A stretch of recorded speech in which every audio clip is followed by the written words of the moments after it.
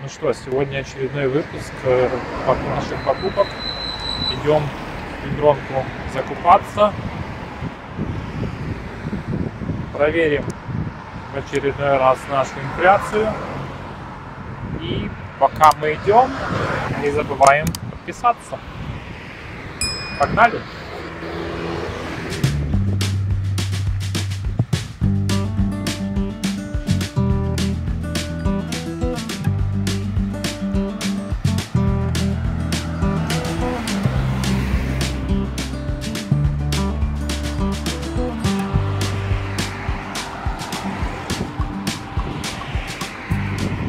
Те, кто еще не подписан, не забываем подписаться на канал.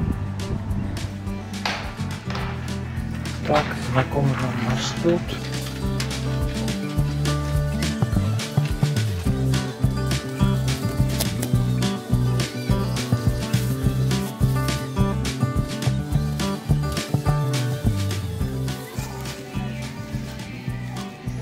Помидорки.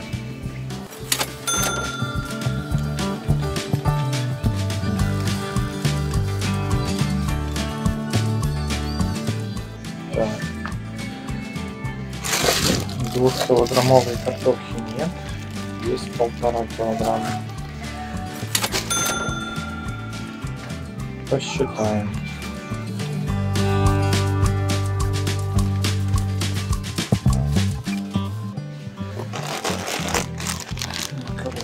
Макарошечки.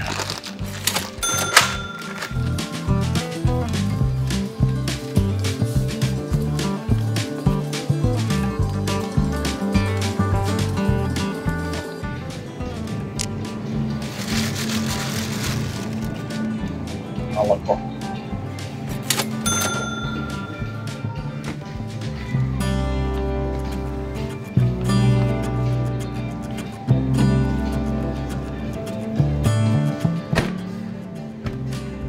Масло.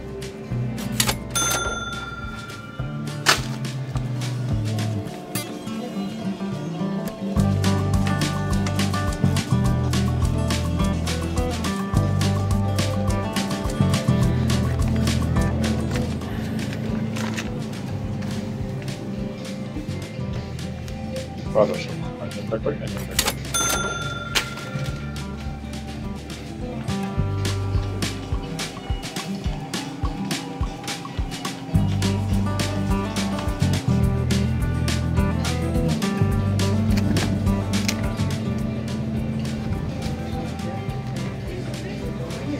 Свининка.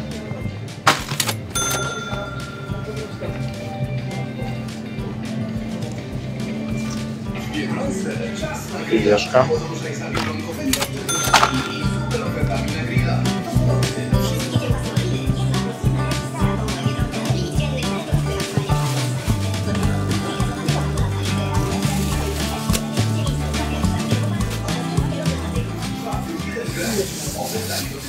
Так, круассаны выглядели намного лучше.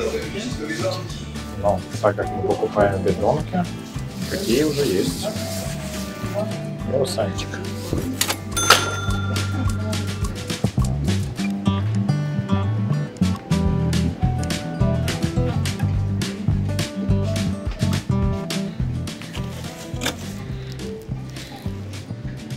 Хлеб.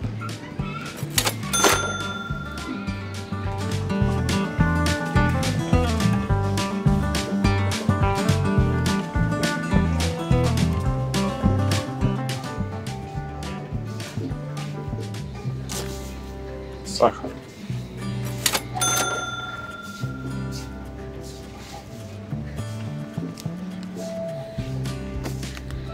Кажется, надо взять 5.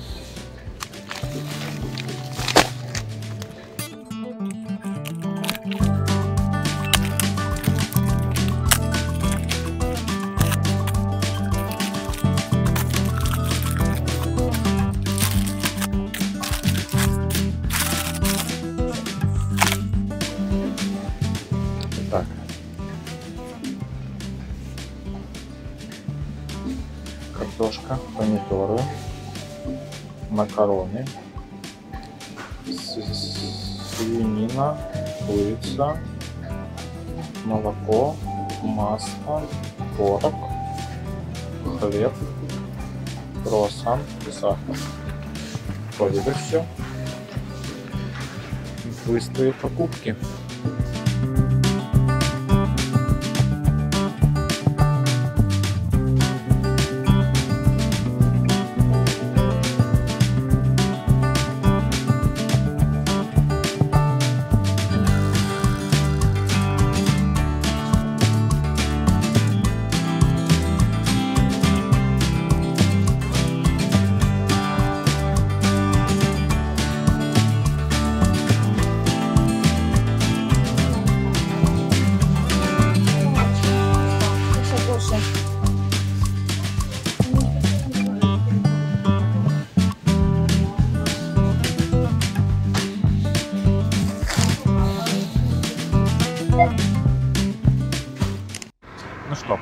Сделали, теперь идем, считаем, что у нас получилось, сравниваем с предыдущими месяцами.